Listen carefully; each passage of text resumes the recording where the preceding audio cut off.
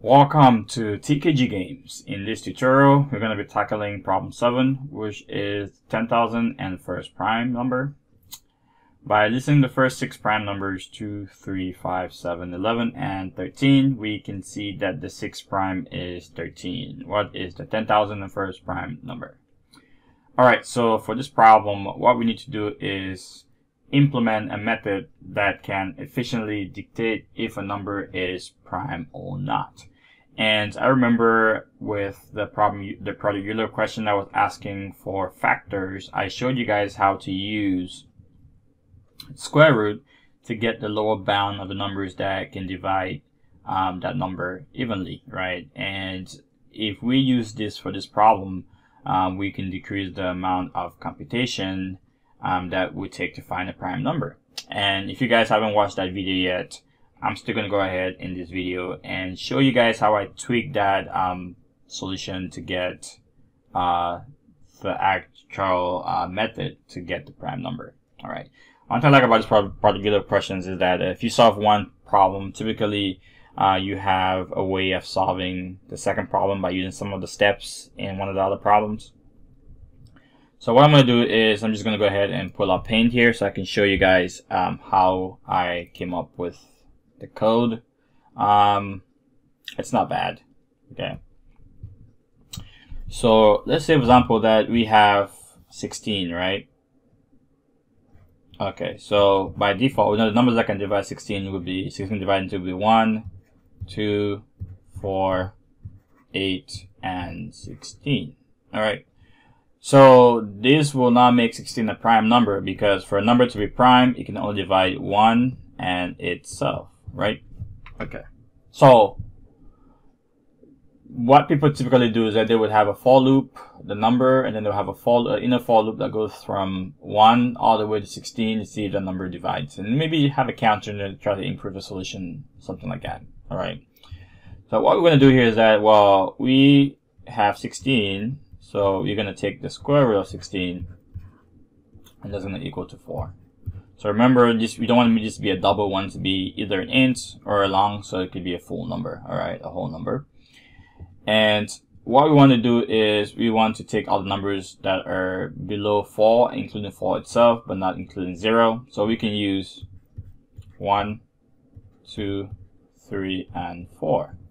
All right, so now what we do is that we take 16 and we divide them by each of this number. Not the square root, but the number itself, 16, right? Okay. So once we're doing this, we have a counter to check to see how many times it divides the lower half of this value. All right, because this right here would count as the lower half of the numbers that 16 can divide into, and this would be the upper half. Okay, so lower half, upper half. All right, so if the counter in the lower half is greater than one, that means that the upper half itself gets ruled out because the, the counter, right, if it's not greater than 1, that means that the only number that would divide 16 would be itself, and that would make the counter 2. So remember that a prime number is a number that divides 1 and itself. So in the lower half, the only number that 16 should divide into is 1, and on the upper half, the only number 16 to divide into is 16, which is itself. But if the lower half, right, uh, if 16 divides any other number than 1 in the lower half, that automatically rules it out as a prime number, right? So we come down here, 16 divides 2, and uh, 1, it divides 2, and divides 4. So this already rules out, the moment it divides 2, we rule that out as it being, uh, not being a prime number, all right? So remember that I showed you guys how to find the factors, right? So the fact that 16 divides 1, 2, and 4, what we can do is we can have a set, um, a set, uh, oh, come on. Um, we can have a set which is part of the collection class. Oh my god. Right? We can have a set. And the thing about set data structure is that set data structure does not have any duplicates. Right? So what we will do is that we'll take the numbers that we have here, which will be 1, 2, and 4, which would be the lower half, right? And if we divide 16 by 1, we get 16. If we divide 16 by 2, we get 8. And if we divide 16 by 4, we get 4. Alright, so here we have a duplicate in the factors of 4. But what set does, since you can't have duplicates, eventually we just end up with 1, 2, 4, 8, and 16. And voila, we have all the factors of 16. And this is what we did earlier. We're just using this right here. We're just using the lower bound of finding the factors of a number to see if the number is actually prime or not. And that's it. This is how you find the prime, okay, if a number is prime or not. So let's go ahead and actually uh, implement the solution. Uh, give me a moment so I can put away my, my uh, tablet and then uh, I'll come back. All right, so let's go ahead and um, implement the solution using code. So I'm gonna go ahead and pull up uh, the project where I solve all of my Euler projects there. And I'm gonna go ahead and create a new class. I'm gonna call this 10,000 and one, all right? I guess I could call it 10,001 prime, I guess. Uh, yeah, it's fine. I'll leave it like this. So what we need first is we need a method to actually uh, uh, get to check to see if the number is prime or not. So this is going to be static and it's going to be boolean, right? And then I would put uh, give the name is prime, and this is going to take in a long. I'm going to call this number Alright, so the first thing that we need is we need a counter. So create a counter, we put that to zero. Um, normally we should count from one, but it doesn't really matter. I mean, we're computer science people, so we get to deal with zeros, especially because we always deal with arrays and stuff. Alright, so we create, we're gonna create a variable to hold the square root, and we're gonna cast that because uh, our math library returns a float so we're going to cast that to a long, and I'm going to use a square root here, and I'm going to pass in number. All right. So next I want to do is create a for loop. Right. So I'm just going to use a long. I could use an int. It doesn't really matter. Um, and this is going to start at 1. And then we're going to say while x is less than or equal to the square root, we're going to do x plus plus right? So we're going to say, well, if number mod x equal equal to 0. So we're looking at the lower half of this because we took a square root. Let's say we took a square root of 16. It's 4, so 4 is here. We start at 1. You have to go from 1 to 4 to see if the counter, alright, if when the number divides x evenly, we should increase the counter by 1, right? And if the counter is greater than 1, then we know that it's no longer divisible by, um, well, we know that x, when that number is no longer a prime number. So what we're going to do is that if, if, um, if number mod x equal equal to zero, then we say uh, counter, not continue, counter plus plus, right? So we increment now we can say if um, counter is greater than one, right, then we could just return false because counter should um, not be greater than 1, it should be 1 for the lower half. And then for the upper half, we complete the counter should be 2 if the number is, um, if the number reaches itself and divides itself, right? So once we have that, you can just go ahead and actually um, return true down here. So now we've just efficiently found a way to uh, figure out the number is prime or not. So what I'm going to do here is I'm going to go ahead and create main.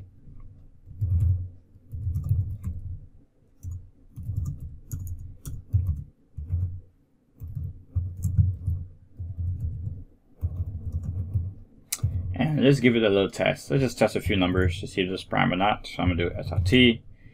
And uh, I'm going to check see if it's prime. And I'm going to pass in 7. So we know 7 is a prime number. So I'm going to run this. And that says true. I'm going to go ahead here and put in 16 here and run that. 16 is not prime, so that's false. Um, I'm going to put in 2 here. We know 2 is prime, so see that passes. So that's true. And then I'm going to go ahead and do something like 9.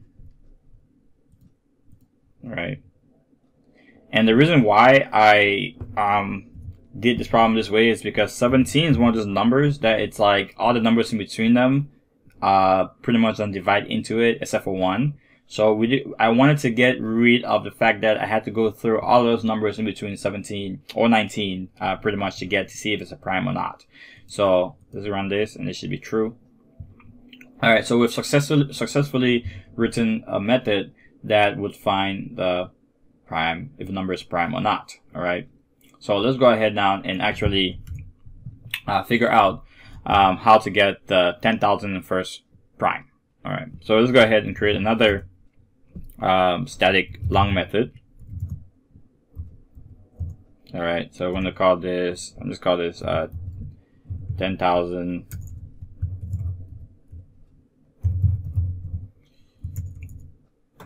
10,000 and one prime.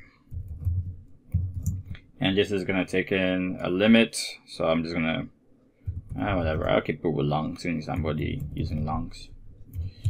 Alright, so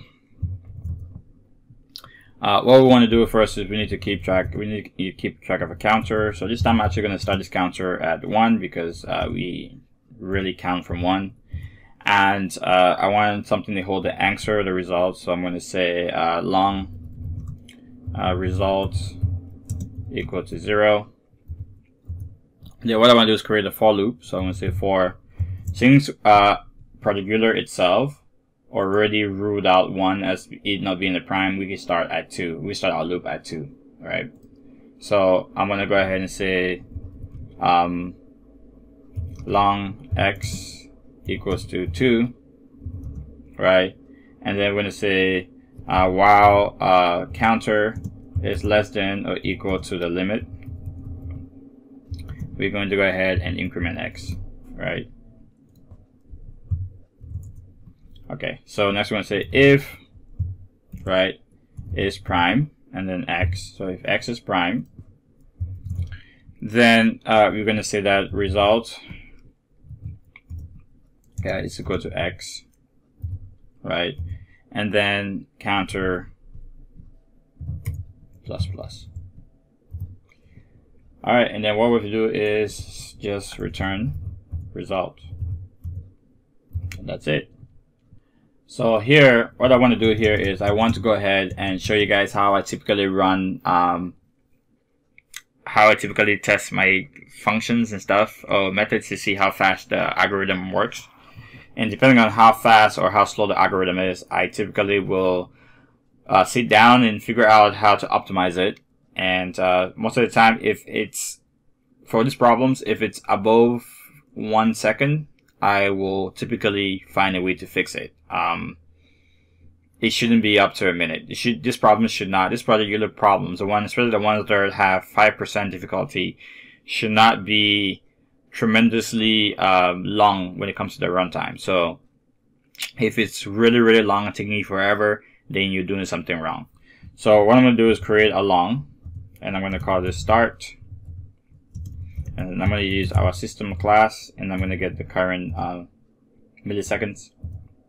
I'm going to do SLT here, and I'm actually going to run our um, 10,001, and I'm going to pass in um, okay. And I'm going to pass in the value, which is going to be 10,001 here for the this thing. And then I'm going to create another variable here. And I'm going to call this end. And this is going to equal uh, system dot current milliseconds because we want to get the start time and the end time. And then what I want to do is do SRT here. And I'm going to say this is going to be in seconds. All right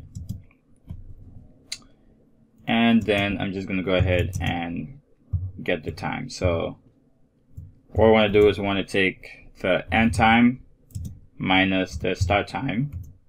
Alright and then all we need to do is we need to divide that by 1000 to convert it to um,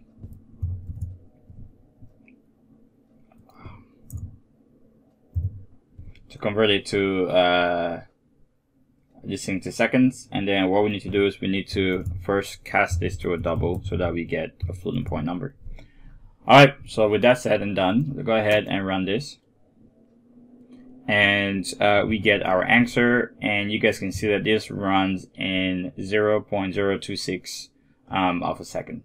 So this will be it for this tutorial. I hope you guys enjoyed the tutorial. Um, if you guys like it, subscribe. And uh, if you have a better solution, please post it down in the section comment in the comment section below so that we can all talk about it and um, you know learn from each other. I'll see you guys in the next tutorial. Have a good day. Bye bye.